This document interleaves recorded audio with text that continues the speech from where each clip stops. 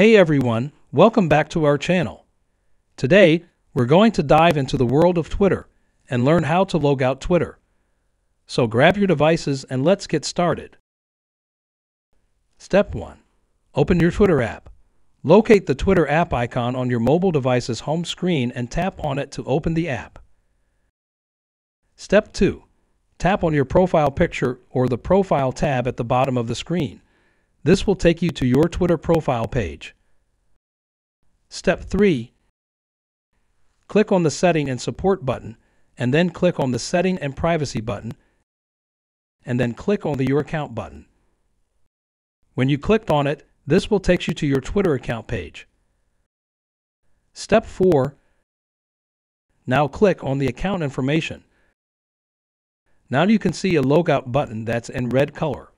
When you click on it, you will get a confirmation message.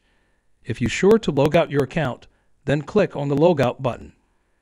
Congratulations, you have successfully logged out your Twitter account. If you found this video helpful, don't forget to give it a thumbs up and subscribe to our channel for more tech tips and social media tricks.